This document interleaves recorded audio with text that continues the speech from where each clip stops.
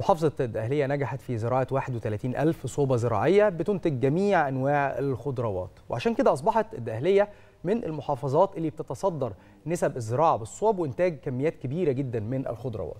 ده أكيد يا شاذلي كمان إنه الصوب الزراعية من الطرق الرائدة في الحفاظ على المياه وترشيد الاستهلاك وزيادة الإنتاجية. خلينا نتابع مع حضراتكم هذا التقرير عن تجربة الدقهلية في الزراعة بالصوب.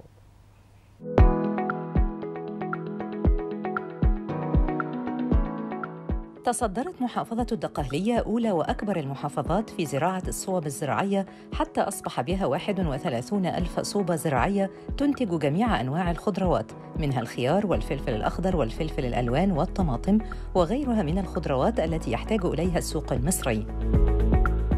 كما يتم تصدير الخضروات منها إلى مختلف الدول العربية حتى أصبحت الدقهلية رائدة في تطبيق منظومة الري الحديث للحفاظ على المياه والعمل على زيادة الإنتاج.